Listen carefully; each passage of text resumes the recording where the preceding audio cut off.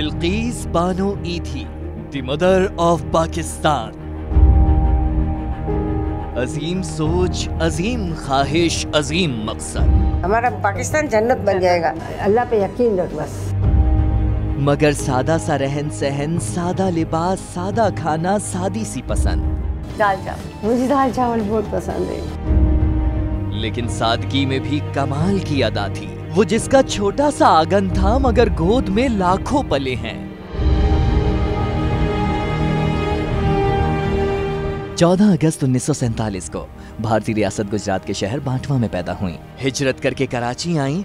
1966 में अब्दुल सत्तार ईथी से शादी हुई। दोनों में मोहब्बत ऐसी कि अमला लैला मजनू के नाम से पुकारता था। स्टाफ को जाके पूछो। सौ का स्टाफ होगा, इनको जाके पूछो। उन्होंने मेरा नाम लेला, इसका नाम मजनू रखा था। बोले ये लेला मजनू है, मैं नहीं जाती थी तो उदास हो जाते थे।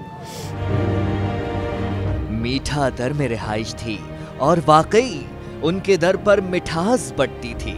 समाजी खिदमात पर हुकूमत पाकिस्तान ने हिलाल इम्तियाज़ और रूसी हुकूमत ने लेनिन प्राइज से नवाजा।